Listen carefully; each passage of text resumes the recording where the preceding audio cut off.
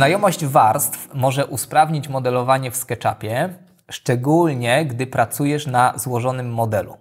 Warstwy traktuj jak kalki do kreślenia, na których możesz umieścić konkretne elementy i w razie potrzeby ukryć je lub przywołać z powrotem.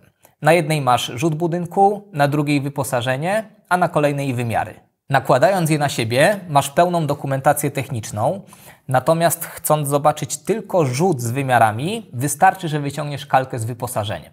I na podobnej zasadzie działają warstwy w SketchUpie. Tutaj również możesz tymczasowo ukrywać wybrane elementy. Ale najpierw zobacz, w jaki sposób zarządzać warstwami. Najwygodniejszym miejscem do tego jest panel warstwy, dostępny w zasobniku po prawej stronie. Aby dodać go do zasobnika, musisz kliknąć kolejno w okno, zarządzaj zasobnikami, podświetlić zasobnik domyślny i zaznaczyć pozycję warstwy. Z poziomu okna z warstwami możesz je tworzyć, usuwać oraz tymczasowo ukrywać. Za tworzenie warstw odpowiada ikona z plusem. Po jej wciśnięciu możesz zdefiniować nazwę dla nowej warstwy, na przykład dekoracje i zatwierdzić wciskając Enter. Jeżeli chcesz usunąć warstwę, należy ją zaznaczyć, następnie kliknąć w ikonę z minusem. Jeżeli warstwa jest pusta, wtedy od razu zostanie usunięta. Jeżeli na warstwie coś się znajduje, wtedy SketchUp zapyta, co zrobić z jej zawartością. Chcąc usunąć warstwę wraz z jej zawartością, wybierz ostatnią opcję i kliknij w OK. Chcąc usunąć warstwę bez usuwania zawartości, wybierz opcję numer 1, czyli przenieść zawartość do warstwy domyślnej i kliknij w OK. W skład panelu z warstwami wchodzą również cztery kolumny. Pierwsza określa warstwę domyślną, to znaczy warstwę, do której są na bieżąco przypisywane nowe, tworzone obiekty. Najwygodniej jest jednak pracować cały czas na warstwie 0, a dopiero po zamknięciu elementu w grupę czy komponent przenieść go na konkretną warstwę.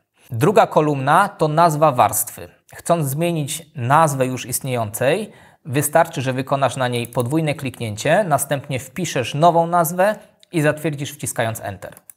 Trzecia kolumna, najważniejsza, zarządza widocznością warstw. I co za tym idzie? Elementów, które na nich się znajdują.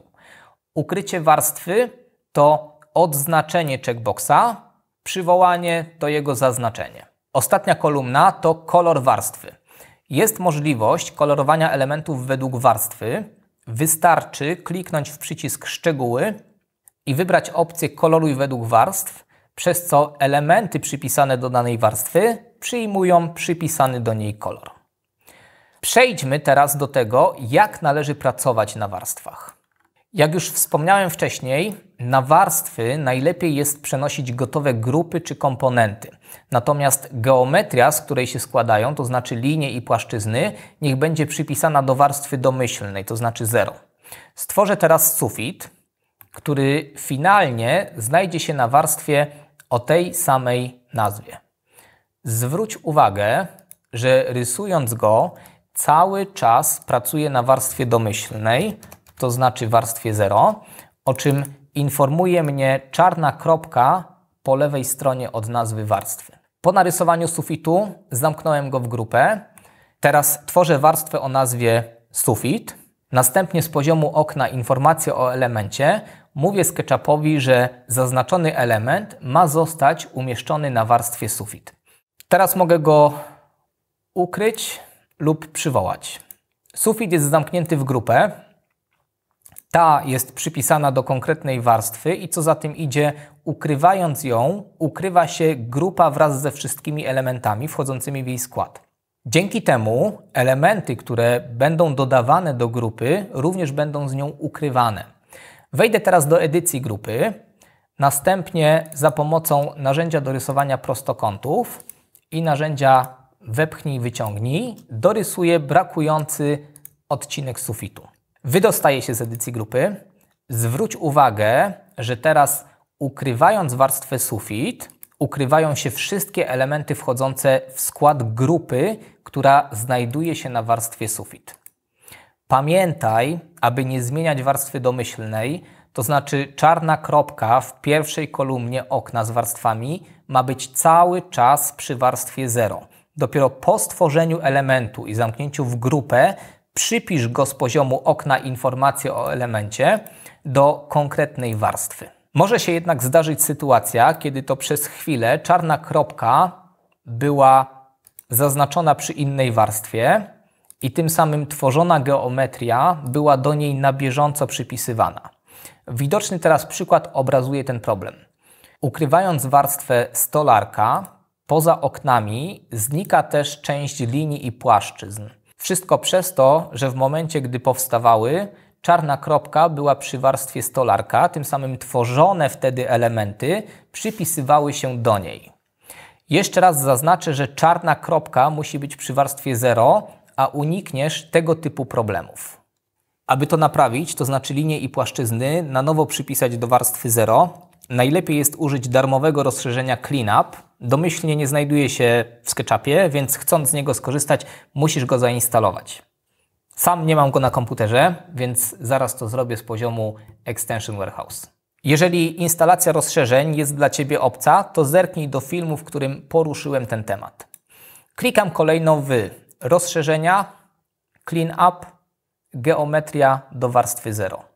W tym momencie cała geometria, to znaczy linie oraz płaszczyzny, zostały przypisane do warstwy domyślnej, natomiast grupy i komponenty pozostały nienaruszone.